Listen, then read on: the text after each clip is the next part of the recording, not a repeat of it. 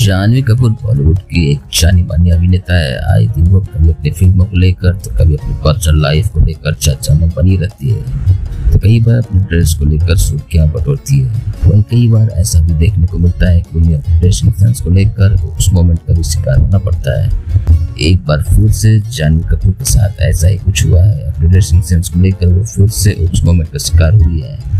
जिसको लेकर social media पर उन्हें ट्रोल भी किया जा रहा है। बताया जा रहा है कि बुधवार को फ़िल्म में कस्कर जौहर ने अपना पचासवा जन्मदिन मनाया इस दौरान पार्टी में टीवी और फ़िल्म दुनिया के तमाम बड़े सितारे पहुँचे थे।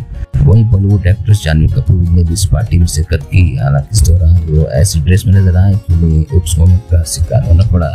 वहीं यूँ की इस पार्टी के दौरान जानवी कपूर ने पिंक कलर की चमकी ड्रेस पहनी थी और साथ में एक ऊँची हील भी पहनी हुई थी। वैसे तो शॉर्ट वैसे तो इस आउटफिट में कमाल की खूबसूरत लग रही थी, लेकिन पार्टी के बीच उनके स्ट्रेस ने उन्हें धोखा दे दिया और ऊपर से उनकी ये ड्रेस थोड़ी सी सड़ गई और इसी दौरान कैमरे की नज़र में कैद हो गई।